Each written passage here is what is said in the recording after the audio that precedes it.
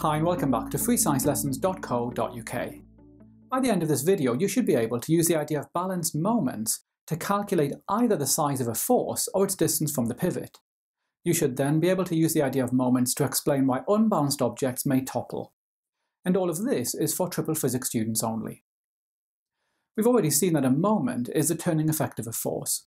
We calculate the moment in Newton meters by multiplying the force in newtons by the distance in meters. And remember that the distance must be perpendicular from the pivot to the line of action of the force.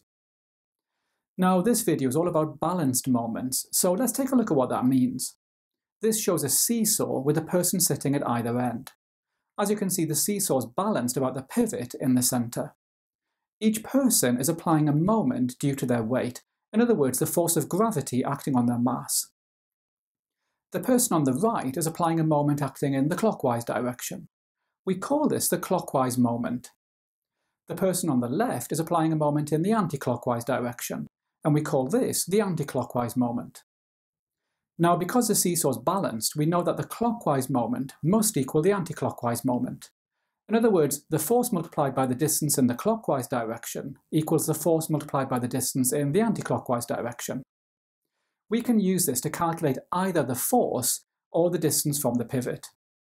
Let's look at a typical question. Person B is applying a force of 350 newtons and is 0.76 meters from the pivot. Person A is applying a force of 500 newtons. Calculate the distance that person A must sit from the pivot for the seesaw to be balanced. So because the seesaw is balanced, the clockwise moment and the anti-clockwise moment must be equal. We've now got all the information we need to calculate the clockwise moment we've got a force of 350 newtons and a distance of 0.76 meters. This means that the clockwise moment equals 266 newton meters. We know the force applied by person A, which is 500 newtons.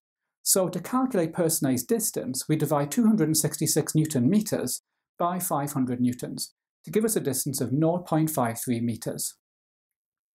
Here's a question for you to try. A crane is used to lift a load which is 30 meters from the pivot. The downward force applied by the load is 5,000 newtons. Calculate the downward force applied by the counterweight, which is 10 meters from the pivot. So pause the video now and try this question yourself. Okay, we can see that the moments are balanced. In other words, the clockwise moment due to the load equals the anti-clockwise moment due to the counterweight. We can calculate the clockwise moment by multiplying the force, which is 5,000 newtons, by the distance, which is 30 meters. This gives us a clockwise moment of 150,000 newton meters.